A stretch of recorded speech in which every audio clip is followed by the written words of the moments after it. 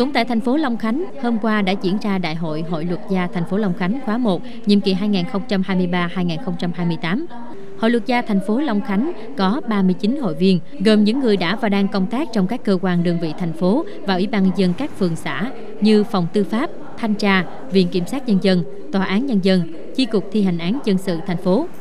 Tại đại hội lần thứ nhất, nhiệm kỳ 2023-2028, Hội luật gia thành phố Long Khánh đã bầu 7 thành viên vào ban chấp hành.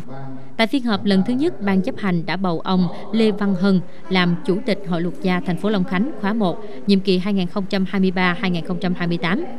Theo Hội luật gia tỉnh Đồng Nai đến nay tại 9 huyện và thành phố Long Khánh, thành phố Biên Hòa đều có tổ chức hội luật gia. Còn hai huyện Định Quán và Vĩnh Cửu sẽ tiến hành đại hội vào thời gian tới.